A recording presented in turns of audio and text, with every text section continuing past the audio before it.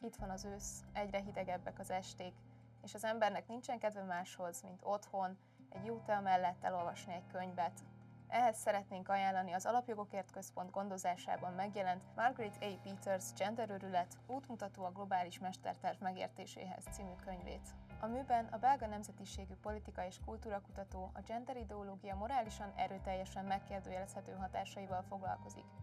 Elemzi annak történeti gyökereit, felemelkedését a nyugati kultúrában, és azt a tendenciát, amely gyakorlatilag világszinten politikai normává tette a gender őrületet.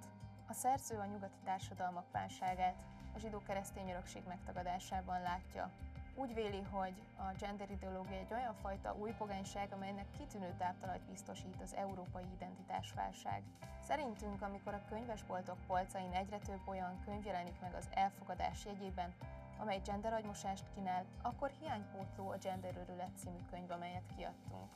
A könyv az alcíméhez hűen útmutatóul szolgálhat mindazok számára, akik szeretnének eligazodni a gender ideológia útvesztőjében. Ha felkeltette az érdeklődésüket, akkor megtalálhatják a könyvesboltokban. Köszönöm szépen a figyelmet, hamarosan jelentkezünk egy újabb könyvvel.